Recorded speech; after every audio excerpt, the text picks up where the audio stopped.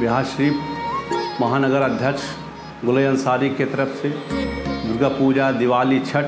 की ढेर सारी शुभकामनाएँ एवं बधाई देता हूँ। आप बिहार शरीफ वासियों से अपील करना है कि आपस में मोहब्बत हर्ष उल्लास के साथ दुर्गा पूजा, दिवाली, छठ मनाएँ, यही मेरी कामना है